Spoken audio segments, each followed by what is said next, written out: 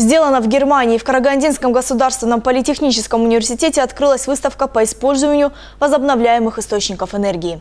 Организатором ознакомления с инновационными проектами стало посольство Германии в Казахстане.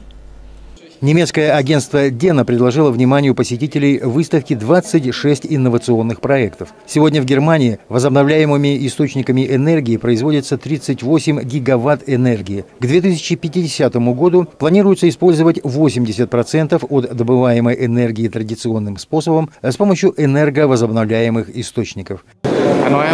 Горючие ископаемые конечны, а возобновляемые источники – это регенеративные источники, которые могут быть использованы в любой стране.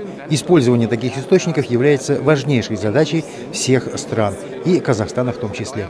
Мир сегодня стоит перед энергетическим кризисом, причин тому много. Растет численность и плотность населения, на Земле постепенно исчерпываются топливные ресурсы, происходят изменения в атмосфере и биосфере планеты. Стандартная традиционная энергетика представляется тупиковой для дальнейшего эволюционного развития общества. Сегодня мы присутствуем на открытии выставки «Возобновляемые источники энергии», сделано в Германии.